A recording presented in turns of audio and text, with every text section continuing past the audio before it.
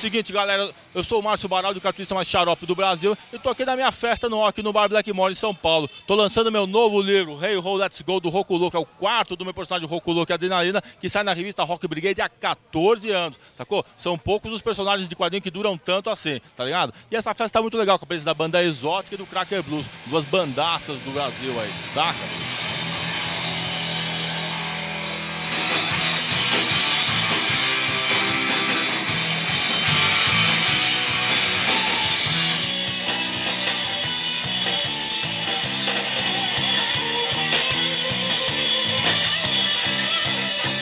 Na minha festa também está rolando a segunda, a segunda edição do Prêmio Bigorna. O Prêmio Bigorna é o seguinte, ele é, ele é, ele é mantido, né? Ele é foi criado pelo site www.bigorna.net, que é o site, assim, um dos sites que, que dá mais apoio para o quadrinho nacional, assim, no Brasil, saca? É um site muito legal para quem conhece quadrinho. E a gente criou esse prêmio para assim, é, homenagear assim, é, vários profissionais assim, que se destacaram naquele ano. Então teve muita gente boa que foi homenageada esse ano, como o Álvaro de Moya, o é, Luiz Antônio Caim, o Rubens Cordeiro, que são grandes desenhistas assim, veteranos, já com muita estrada já, Diamantino da Silva, e caras mais novos também, como Edgar Franco, é, o Spaca, o Maurício Ricardo, lá do chades.com.br. Enfim, é um, uma grande premiação muito legal e que assim, reúne assim,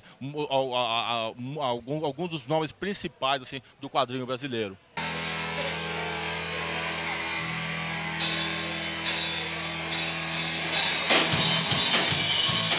Todos os anos eu prestigio porque ele é o cara.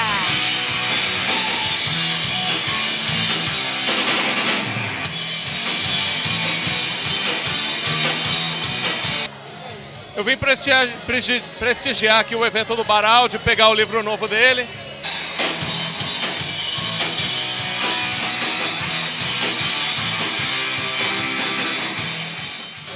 Estamos aqui no evento de cartoon do Márcio Baraldi. Hoje um dos maiores cartunistas do Brasil. Já ganhou seis ou sete prêmios Ângelo Agostini, se eu não me engano. Deve estar indo para o oitavo ou nono. É um cara que merece todo o nosso respeito e toda a atenção da mídia em quadrinhos e da galera em geral.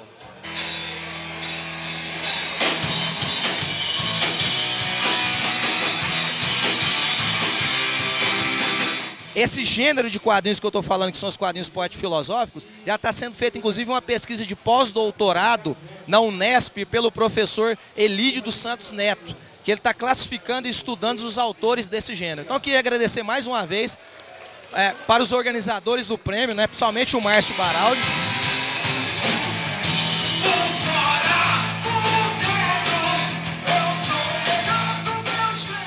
Na sua paixão pelo rock, ele traz aí de uma maneira divertida, humorada, bem humorada, interessante, vários personagens é, do rock and roll em, em tiras e, e em histórias curtas que nos fazem nos divertir, mas também refletir sobre o, o rock na cultura nacional.